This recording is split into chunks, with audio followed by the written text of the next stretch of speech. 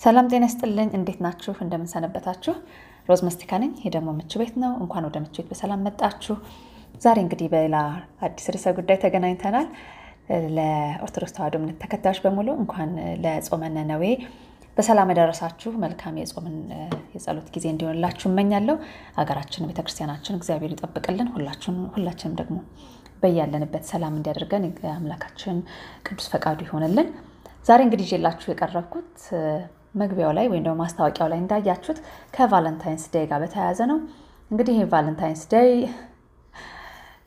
ወደው አይስቁ እንደሚባለው ነገር ነው።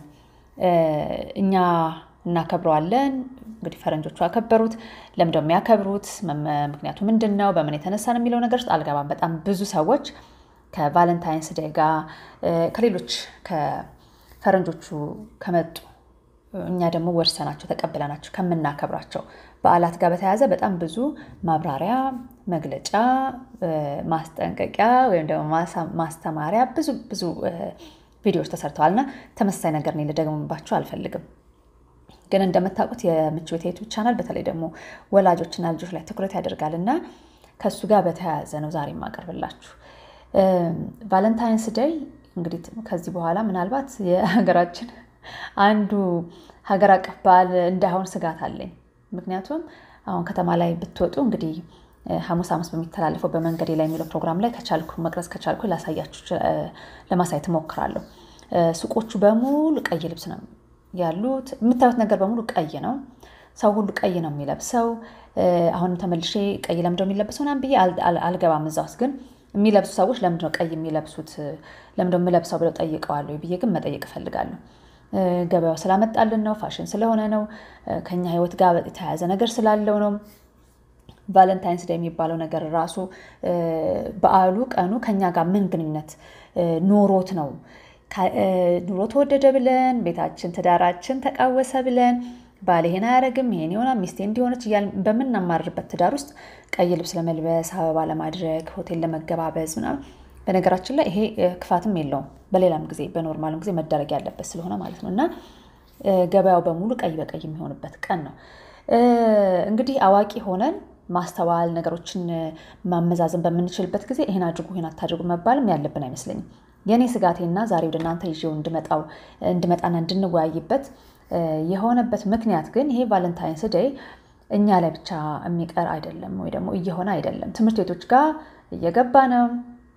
ወደ ትምህርት ቤቶች ሲገባ ደግሞ high school ተማሪዎች ላይ አይደለም የሚታየው፣ እነሱም ጋር በእርግጥ በደንብ አለ። ግን በጣም በሚያሳዝን ሁኔታ የሁለተኛ ክፍል፣ የሶስተኛ ክፍል፣ የአራተኛ ክፍል ተማሪዎች፣ የአምስተኛ ክፍል፣ የስድስተኛ ክፍል ተማሪዎች ገና አንደኛ ደረጃ ትምህርታቸውን ያልጨረሱ ተማሪዎች ስለ Valentine's Day አከባበር እንዴት አድርገው እንደሚያከብሩ፣ ለማን አበባቸው እንደሚሰጡ፣ ለማን የልብ ቅርጽ ምናምን ሰርተው ቀይ ምናምን ለጥፈው crush አለን ለሚሉት ሰው እንደሚሰጡ የሚጨነቁበት ጊዜ ሆኗል እና ይሄ ደግሞ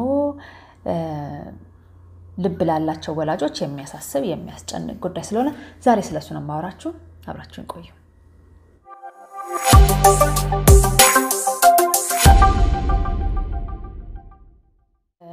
ባለፈው የፒጃማ ቀን በተመለከተ በሰራሁላችሁ ቪዲዮዎች ከዚህም በፊት ከትምህርት ቤት ጋር በተያያዘ የምሰራላችሁ ነገር ላይ ትምህርት ቤት ውስጥ የምናያቸው ነገሮች እጅግ የሚያስፈሩ የሚያስጨንቁ ናቸው። እንግዲህ አሁን ያለንበት የሀገር ምስቅልቅል ራሱ መሰረቱ ትምህርት ቤት ነው። ትምህርት ቤት ውስጥ የተበላሹ ዜጎች ወይ ደግሞ በትክክል ያልተቀረጹ ያልተገነቡ ተማሪዎች፣ የዛን ጊዜ ተማሪዎች ያሁን ደግሞ አዋቂዎች ወይም ደግሞ ያደጉ ወጣቶች ናቸው በጣም ብዙ ነገሮች ሀገራችን ውስጥ እንዲፈጠር ምክንያት የሆኑት እና ትምህርት ቤት ይገነባል መገንባት ነበረ ስራው። አሁን ግን ትምህርት ቤት ገንቢነቱ እየቀረ መጥተዋል ማለት ነው። የአምስተኛ ክፍል ተማሪ ወይም የስድስተኛ ክፍል ተማሪ ስለ Valentine's Day ተጨንቆ ወይም ተጨንቃ ምን ስጦታ ላዘጋጅ፣ ለማን ነው የምወደው? እንግዲህ በእነሱ አማርኛ በእነሱ እንግሊዝኛ ነው አማርኛ እንግዲህ crush አለኝ ለሚሉት ሰው ምን እንደሚሰጡት የሚጨነቁበት ጊዜ ሆኗል። ይሄ እንደ ወላጅ እጅግ በጣም የሚያሳስብ ነው። እንደ አንድ ትምህርት ቤት እንደ መምህራንም እንደ አንድ ትምህርት ቤት እንደ አንድ ዜጋም ራሱ ሊያስጨንቅ ሊያሳስበን የሚገባ ልጆቻችን ደግሞ ልናስተምራቸው የሚገባን ጉዳይ ነው። መልካም ነገር ማውረስ መልካም ነው። እኛ እንኳን ለሕይወታችን ይሄ ነው የሚባል ረብ ያለው ነገር አይደለም። Valentine's Day ን በማክበራችን ትዳራችን አይስተካከልም፣ ባለማክበራችን ትዳራችን አይጎዳም። ምናልባት አዲስ ነገር ወይም ተጨማሪ ወጪ እላያችን ላይ እናመጣ ይሆናል። ባለቤቴን ለማስደሰት Valentine's Day መጠበቅ አይጠበቅብኝም። ለሚስቴ ቀይ ቀሚስ ለመግዛት Valentine's Day አያስፈልገኝም። ቀይ ቀሚስ ምርጫዋ ከሆነ በየትኛውም ጊዜ ሊገዛልኝ ይገባል አይደለ? ወይም ደግሞ ልትገዛላት ትችላለህ። እኔም ለባለቤቴ ስጦታ መስጠት ከፈለግኩ ማንኛውም ጊዜ የስጦታ ቀን መሆን ይችላል። እንዲሁ በአንድ ቀን ግን ሰተነው ለብዙ ወጪ የዳረገን ለብዙ ጭንቀት የዳረገን ከዛ ደግሞ ጓደኞቻችን፣ ቤተሰቦቻችን ፌስቡኩ ላይ ምኑ ላይ የ YouTube channel ኡ ላይ ለ Valentine's Day እንደዚህ አድርጌ አከበርኩ እንዲህ ለበስኩ ምናምን ሽቶ ስጦታ ምናምን ሲሉ በጣም ተጨናንቀን ደግሞ እኛ ደግሞ ያ ነገር ካልሆነልን ብለን ደግሞ መከራችን እናያለን ማለት ነው። ለዛ ፉክክር ውስጥ እንገባለን። ሳንወድም ልንገባ እንችላለን ሳናውቀው እና እኛን እዚህ ውስጥ የከተተን ነገር እስቲ አስቡት። የአምስተኛ ክፍል የስድስተኛ ክፍል ከዛም በታች ያሉ ተማሪዎች Valentine's Day እንደ አንድ እንደ አንድ ትልቅ ጉዳይ ሆኖ ስጦታ የምሰጠው ለማን ነው? ለእንትና ነው ስጦታ የምሰጠው፣ ይሄን ነው የማደርግለት፣ ስዕል ሲስሉ እኛም እኮ ስዕል ስለን የፍቅር ደብዳቤ ምናምን ጽፈን አልፈናል። ግን የልጅነት ባህሪና በእንደዚህ አይነት ሀገር ላይ ዓለም ላይ ሁሉ በሆነ የሆነ ሁሉን ሰው ጭፍልቅ አድርጎ በአንድ ቱቦ ውስጥ ወይም ደግሞ በአንድ መስመር ውስጥ ጨፍልቆ የሚሄድ ነገር ውስጥ ልጆቹም ገና ሕፃናት ገና ካሁን እዛ ውስጥ እንደው fit አድርገን ካላለፍን ብለው ሲታገሉ ሲጋጋጡ ማየት በጣም ነው የሚያሳዝነው። ለምን በዚህ እድሜያቸው ብዙ የሚሰሩበት ብዙ የሚያነቡበት እንደገና ደግሞ ልጅነታቸውን የሚያጣጥሙበት አያመልጣቸውም። Valentine's Day የምናክብር ብለውም ካሉ ሀያ ዓመት ሰላሳ ዓመት አርባ ዓመት ላይ ቁጭ ብሎ ይጠብቃቸዋል። የትም አይሄድም። የስድስተኛ ክፍል ተማሪ ማለት አስር ዓመት አስራ አንድ ዓመት አስራ ሁለት ዓመት አይደለም አስራ አንድ አስራ ሁለት አካባቢ ነው አስራ አንድ እና አስራ ሁለት ዓመታቸውን መልሰው አያገኙትም። Valentine's Day ቁጭ ነው የሚጠብቃቸው። እንግዲህ የግድ እናክብር ከተባለ ማለት ነው።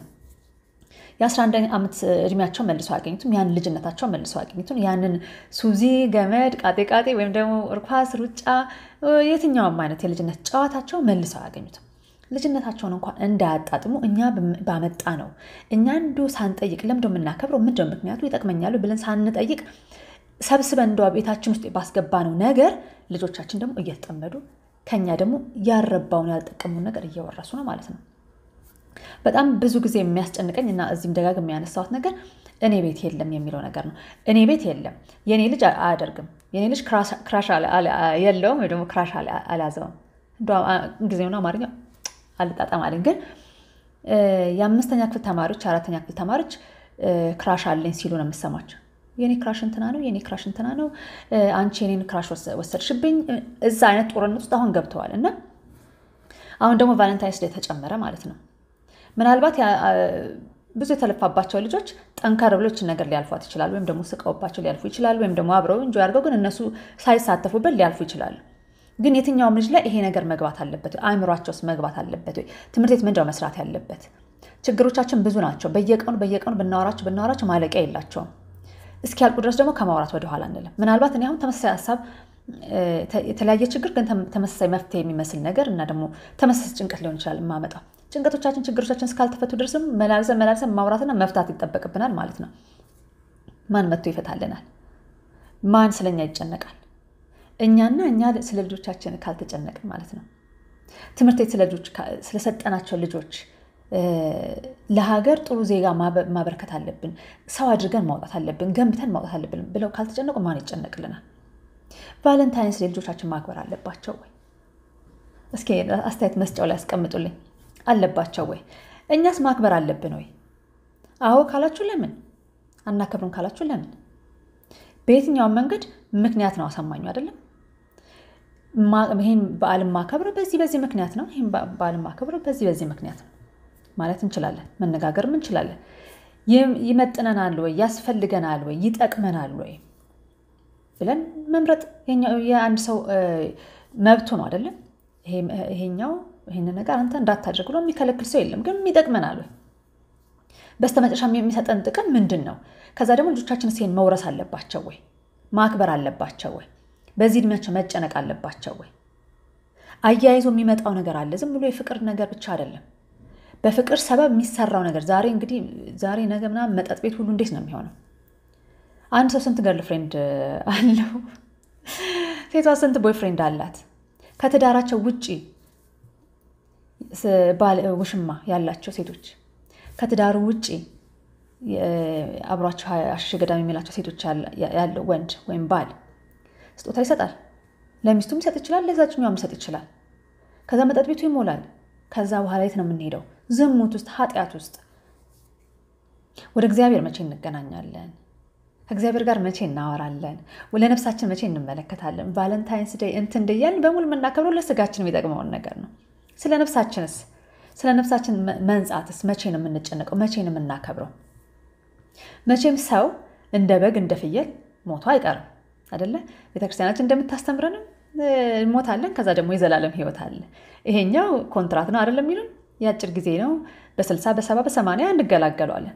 በስልሳ በሰማንያ እና በአንድ ሺህ ዓመት በሁለት ሺህ ዓመት ማንገላገለው ደግሞ የዘላለም ሕይወት አለ እና ያን የዘላለም ለዛ የዘላለም ሕይወት ይጠቅመናል። እንደ አንድ አማኝ ራሱ ስትመለከቱት እንደ አንድ ክርስቲያን ይሄ አሁን የምናደርጋቸው ነገሮች ለዛ ሕይወታችን ይጠቅመናል ብለን መጠየቅ አለብን። እንግዲህ ሰው ማለት እንደዛ ነው፣ መጠየቅ አለበት። ጠይቆ ደግሞ መልስ ማግኘት አለበት እና ያ የምናገኘው ጥቅም ደግሞ ለሁል ጊዜ የሚዘልቅ ጥቅም መሆን አለበት አይደለም። ለልጆቻችን የምናስተላልፈው የምናስተምረው ነገርም ለስጋ ህይወታቸው ለነፍሳዊ ህይወታቸው መጥቀም አለበት። የምንበላው ነገር እኮ ምግባችን ለስጋችንም ለነፍሳችንም ይጠቅማል አይደለም። ለምሳሌ በጣም ረሃብተኞች ባንበላ ባንጠጣ ቆመን መጸለይም አንችልም። ጾም የሚለውን ነገር ላናስብ እንችላለን አይደለም።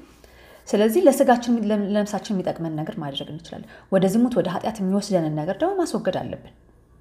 ወዳልተገባ ወጪ ኑሮ ተወዷል ብለናል። ከዛ ግን በአካባቢያችን በምናየው በማስታወቂያው በምኑ ደግሞ influence እንድንሆንና ያላሰብነው ወጪ በብድር ሁሉ ጫማ የሆነ ነገር መግዛት ሁሉ ሊያምረን ይችላል። ደግሞ የምናደርግ ደግሞ እንኖራለን እና ይሄ ነገር ወደ ልጆቻችን መዋረስ መግባት አለበት ወይ? ማቆም የለብንም ወይ? ያን ደግሞ ለማቆም ምንድን ማድረግ ያለብን? እንደዚህ አይነት ነገሮች ሲነሱ at least አንድ ሰው መለወጥ አለበት፣ ሁለት ሰው መለወጥ አለበት፣ ራሳችን መመልከት አለብን። ከሁሉ በላይ ደግሞ የኔ ልጅ ይህን ነገር አያደርግም ብላችሁ አታስቡ። በተለይ ደግሞ international የሚል ከፊቱ እንትን ያለው ትምህርት ቤት በሙሉ የምታስተምሩ ወላጆች እውነቴን ነው የምላችሁ፣ ዛሬ ማታ ስትገቡ ልጆቻችሁን ጠይቋቸው ስለ Valentine's Day እና እባካችሁ እንደው በእግዚአብሔር ስም ጠይቃችኋለሁ። ልጆቻችሁን ጠይቃችሁ ምን እንደመለሱላችሁ ጻፉልኝ፣ እዚሁ ላይ ጻፉልኝ። ከፈለጋችሁ ቴሌግራም ላይ ጻፉልኝ። እንነጋገርበት፣ ለውጥ ማምጣት ስላለብን ሁለተኛ ክፍል ተማሪዎች ያሏችሁ ጠይቋቸው። ሶስተኛ ክፍል ያላችሁ ተማሪዎች ጠይቋቸው። አራተኛ ክፍል፣ አምስተኛ ክፍል፣ ስድስተኛ ክፍል ግድ የለም high school ን ተውና አንደኛ ደረጃ ትምህርት ቤት ያሉ ልጆች የሚማሩበት ደግሞ international school የሆነ የበለጠ ተጋላጭ ስለሆነ ነው።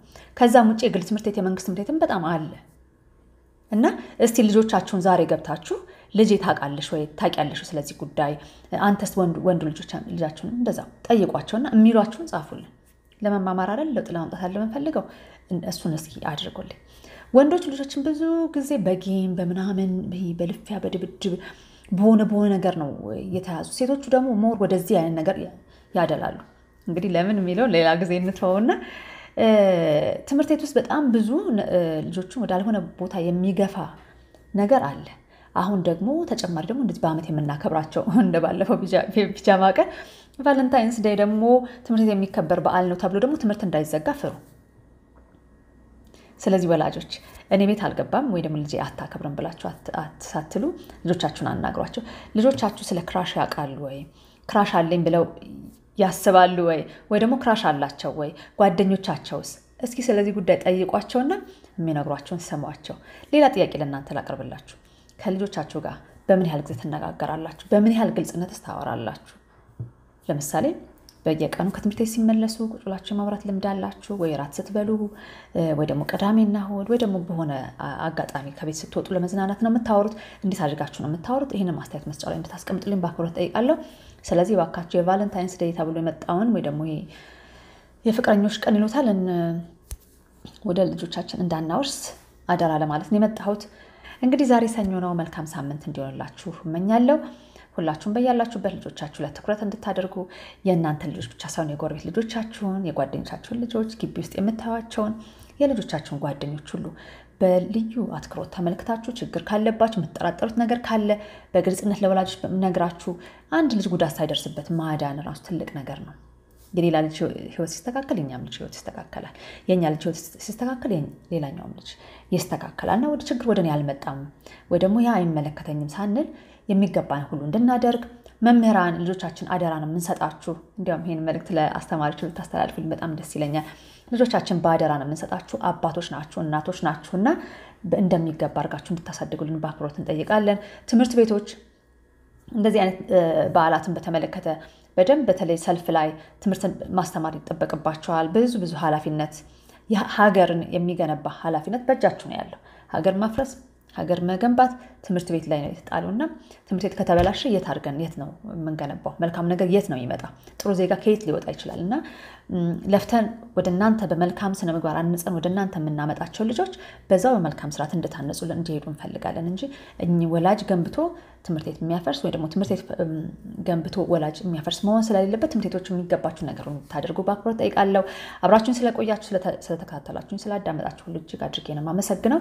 ይህንን መልዕክት ለሌሎች ሰዎች እንድታጋሩ ወላጆች የሆናችሁም ወላጆች ያልሆናችሁም ይሄ እዚህ ጉዳይ ላይ ትኩረት እንድታደርጉና ባልተገባ ነገር ውስጥ ራሳችን እንዳናስጠምድ መልእክቴን አስተላልፋለሁ።